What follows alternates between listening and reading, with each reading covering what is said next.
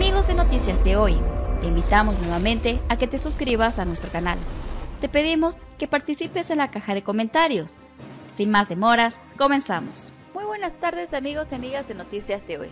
En esta ocasión te contamos que el caso de Mar-a-Lago es el último que llega al expediente en la sombra de la Corte Suprema. El juez Samuel Alito dice que el expediente de emergencia ha sido etiquetado con término siniestro en un intento de socavar a la Corte Suprema. Pero antes de continuar te recordamos que no olvides suscribirte al canal, de dejarnos tu me gusta y déjanos también tus comentarios. Continuando con la noticia, se espera que la Corte Suprema tome una decisión esta semana sobre si el gobierno puede comenzar a revisar los documentos incautados de la casa del expresidente Donald Trump en su investigación criminal, un caso que acordó Thomas bajo su llamado expediente en la sombra. Donald Trump presentó una petición de emergencia la semana pasada pidiendo a la Corte Suprema que revise una decisión de la Corte de Apelaciones que decía que el Departamento de Justicia puede seguir revisando los documentos que cautó en su casa en agosto. Si la Corte Suprema está de acuerdo, un perito especial independiente, el ex juez del distrito, Raymond Deere, revisaría los documentos incautados y decidirá cuáles pueden ser de privilegio y por lo tanto protegidos de la revisión del gobierno. El caso de Trump es solo una de las muchas peticiones de emergencia que maneja la Corte Suprema y que completará lo que se conoce como su expediente en la sombra. A diferencia de los casos regulares que se abren camino a través del sistema judicial y están sujetos a extensos informes y argumentos orales ante la juez, el expediente La Sombra es un conjunto más impredecible de decisiones que se deriva de peticiones de emergencia como la que presentó Donald Trump. Los casos de expedientes paralelos son más sensibles al tiempo y surgen cuando es necesario abordar un problema de procedimiento antes de que la Corte Suprema tenga tiempo de escuchar todos los argumentos sobre el fondo. Se deben cumplir varios criterios antes de que la Corte agregue un nuevo caso a su expediente de emergencia, incluido si la inacción causará un daño irreversible o si existe una probabilidad razonable de que cuatro jueces finalmente acepten revisar los méritos. Un caso notable en las sombras se decidió en abril, cuando la Corte votó 5 a 4 para bloquear el fallo de un tribunal inferior que habría destruido una regla ambiental favorable a las empresas inscritas bajo la administración de Donald Trump. Además, en un caso en las sombras que ayudó a los demócratas, la Corte bloqueó en marzo un fallo de un tribunal inferior que decía que el Pentágono no puede condicionar el despliegue de las misiles en su estado de vacunación. Los casos en las sombras de la Corte han generado quejas, incluso de los propios jueces. En el caso ambiental en abril que apoyó la regulación de la era Trump, la juez Elena Kagan argumentó que asumir ese caso hace que el expediente de emergencia de la Corte no sea para emergencias en absoluto. La Corte Suprema rechaza escuchar un caso sobre la inmunidad legal de las grandes tecnológicas del contenido controversial. La decisión de la mayoría es emblemática de una gran parte de la toma de decisiones de las sombras de este tribunal, que cada día se vuelve más irrazonable, inconsistente e imposible de defender. Escribió.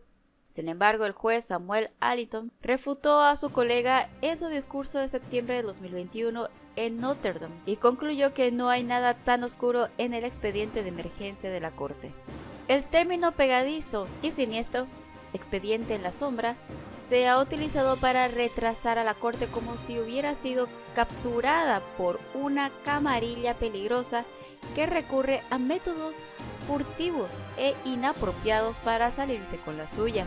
Esta representación alimenta esfuerzos sin precedentes para intimidar a la Corte o dañarla como una institución independiente, dijo. Las solicitudes de emergencia de la Corte Suprema se envían al juez individual asignado al circuito correspondiente de los 13 circuitos federales. La solicitud de emergencia de Trump, que podría decidirse esta semana, fue enviada al juez Clarence Thomas porque cubre el circuito 11, que incluye casos en el estado de Florida. Y continuando, entre otras noticias, Donald Trump dio defensas contradictorias sobre la redada de Mar-a-Lago, alegando que todos los documentos son míos y que algunos fueron plantados.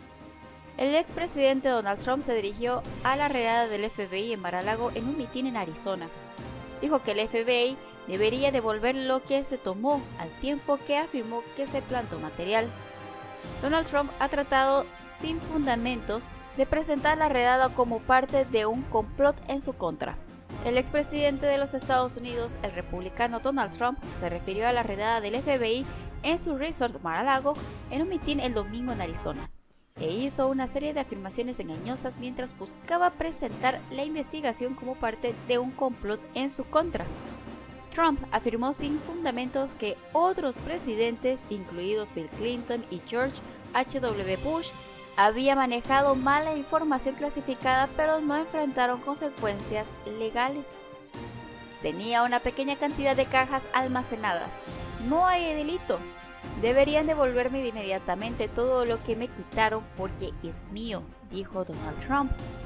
Continuó acusando al FBI de plantar pruebas y aludiendo a los informes que en la redada se habían incluido documentos que contenían secretos nucleares plantan documentos. Veamos, ¿hay un libro sobre destrucción nuclear o construcción de un arma nuclear?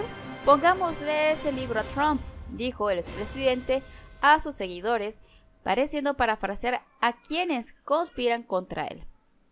El Departamento de Justicia ha alegado en documentos judiciales que Donald Trump tomó por error registros del gobierno, incluida información altamente clasificada y los almacenó en lugares no seguros de Mar-a-Lago después de dejar el cargo. Donald Trump estaba repitiendo defensas en el mitin que ha hecho durante semanas, pero que sus abogados notablemente no han hecho en comparecencias judiciales relacionadas con el caso. Algunas de las afirmaciones de Donald Trump tienen como objetivo irritar a sus principales seguidores antes del anuncio ampliamente anticipado de una presidencia para el 2024, dijeron analistas. Se recuperaron decenas de registros del gobierno en la redada de Mar-a-Lago y Trump, en un mitin, no ofreció ningún argumento sobre por qué deberían devolverse. Sus abogados han argumentado que algunos de los documentos son privados y deben ser devueltos bajo la regla de privilegio, pero los funcionarios del Departamento de Justicia que los revisaron encontraron que solo un pequeño número entraban en esa categoría. Los abogados de Donald Trump no han ofrecido pruebas para respaldar su afirmación de que se colocaron pruebas en la redada.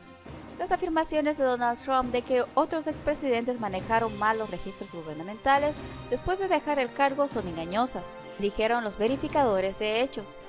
Todos observaron el proceso habitual para obtener registros del gobierno después de dejar el cargo para exhibirlos en sus bibliotecas presidenciales, situando permisos para tomarlos en préstamos de la Oficina Nacional y entregándolos al gobierno al dejar el cargo.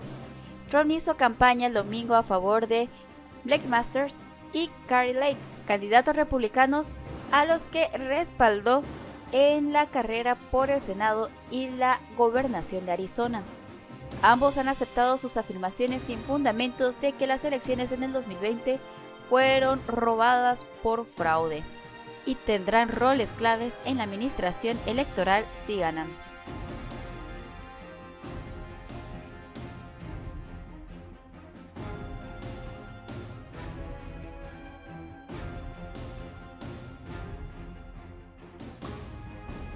Eso es todo por ahora. No olvides dejar tu comentario y suscribirte. Hasta el próximo video.